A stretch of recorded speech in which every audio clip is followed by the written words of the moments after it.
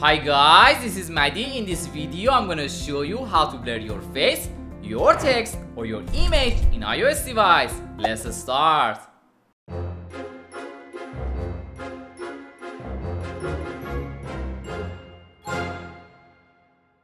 First, open App Store.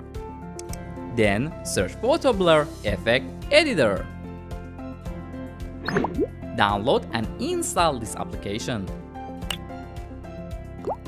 After that, open the application. In the first step, tap on Image. If you want to take a photo now and blur it, select Camera. Otherwise, choose Photo Library. Then tap on Allow access to all photos. For example, I want to blur the text from this photo.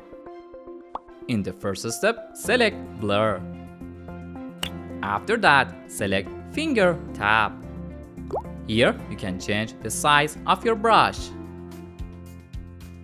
Then, drag the places you want to blur. After that, select Intensity. Here, you can change the blurring intensity. Finally, tap on Preview and select Share. Then choose Save Image.